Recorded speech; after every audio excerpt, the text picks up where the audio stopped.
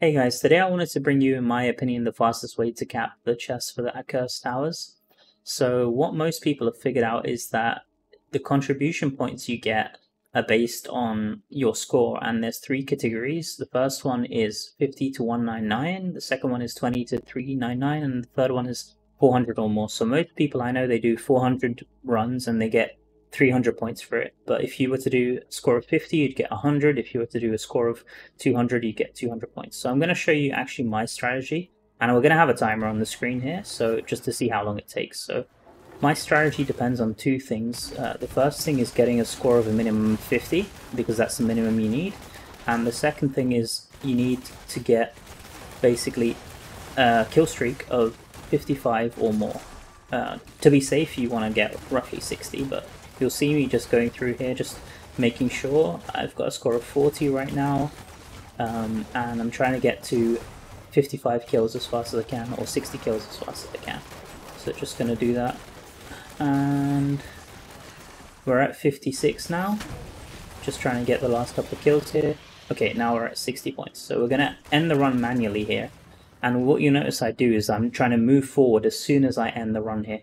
And the reason for that is because my kill streak shards, they get dropped. And you can see I picked one up there by accident. But what I did here is basically I'm splitting my run into two, two runs. So I've just turned in a score of 63, which is basically in the category of 50.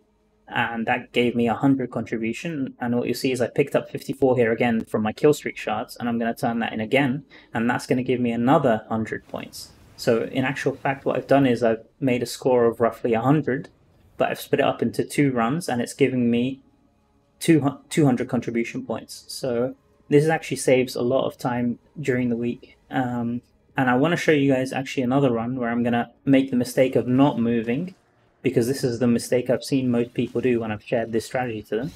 Um, when you don't move after finishing the run, you'll actually end up picking up the kill streak shards. So I'll just speed this up a bit here so you can see the ending of the run, the mistake I make. So the mistake you guys want to avoid, which I made in this run, is after ending my run, I didn't directly start moving.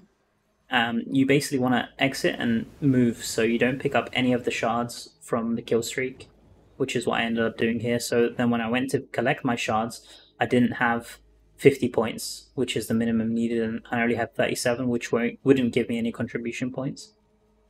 So I've made this table here just to show how long it takes from my testing to cap the towers with the different strategies, but using this strategy is by far the fastest way I've been able to consistently cap the chests in 8 minutes or less. So give it a go and let me know how fast you guys are capping the tower with the strategy, and I'll see you guys in the next one. Peace!